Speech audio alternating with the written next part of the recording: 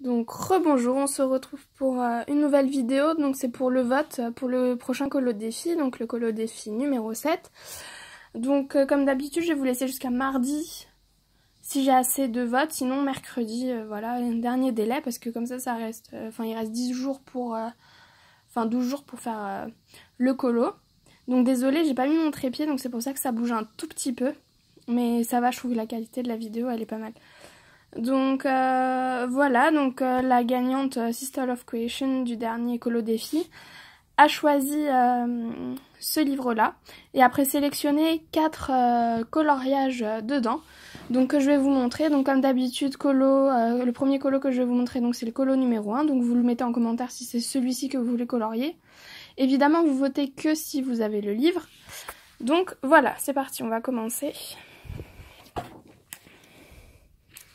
Donc le premier, c'est celui-ci. Gontran Bonheur. Donc ça, c'est le colo numéro 1 si vous voulez que ce soit celui-là. Colo... Non, je dis une bêtise. Colo numéro 2, c'est celui-là.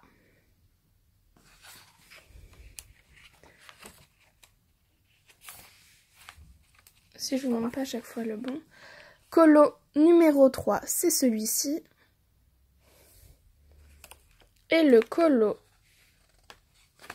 numéro 4, c'est celui-là. Donc euh, voilà, donc euh, je vous laisse euh, voter. Myriam et moi, de mon côté, on va voter. Donc voilà, je vous fais de gros bisous et puis bonne reprise pour demain. À très vite. Au revoir.